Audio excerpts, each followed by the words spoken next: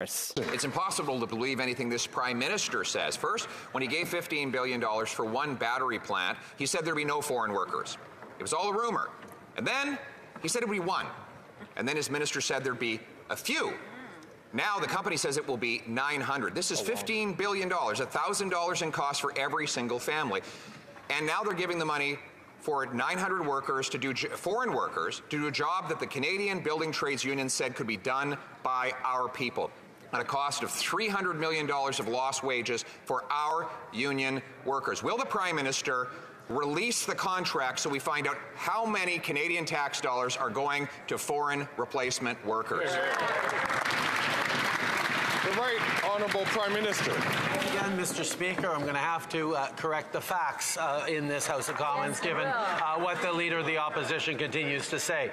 2,300 local Canadian construction jobs and 2,500 permanent Canadian jobs when the Stellantis plant is completed. That's right. There'll be 3,000 jobs in the region when the Northvolt plant in Quebec is completed. Uh, you'd think the Leader of the Opposition would support those, but he doesn't. No, His he uncontrollable urge to make everything a partisan issue means he's not supporting the investments that are going to help in Windsor, in St. Thomas, uh, in Quebec, or elsewhere across the country. He wants cuts. We want investments in the future of Canadians. The Honourable Leader of the Opposition. This Prime Minister has forced 7 million Canadians to cut back on their diet to a point where they are no longer healthy.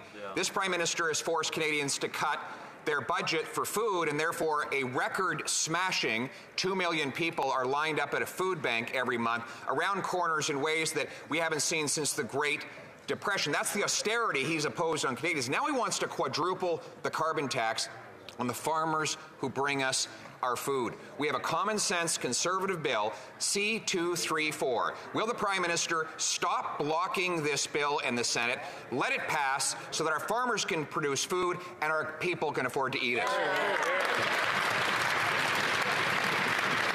The right honourable Prime Minister. Mr. Speaker, if the Leader of the Opposition actually cared about Canadians being able to afford their food, uh, they wouldn't have dragged their heels uh, on the passage of C56 uh, that is cr- increasing competition in the grocery sector. Uh, but indeed, Mr. Speaker, there are a lot of factors that, uh, that deliver higher food prices, uh, not just for Canadians, for people around the world. And one of the key ones is Russia's continued illegal invasion of Ukraine, Mr. Speaker. On this side of the House, uh, we can affirm clearly that we will stand with Ukraine with everything necessary for as long as necessary. As we saw last week, no conservative politician can say the same in this House.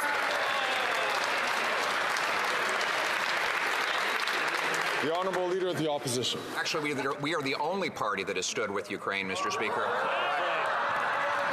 Rather than trying to impose a carbon tax. But, you know, this Prime Minister, I understand what he's doing.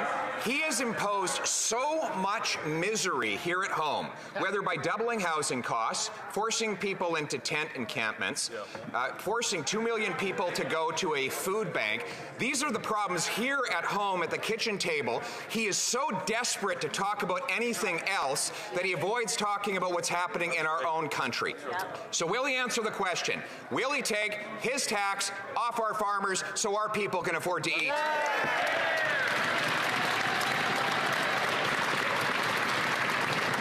The right honourable Prime Minister. Mr. Speaker, the Leader of the Opposition full well knows that 97% of fuel emissions uh, in the agricultural sector, in the farming sector, are already exempt from our price on pollution.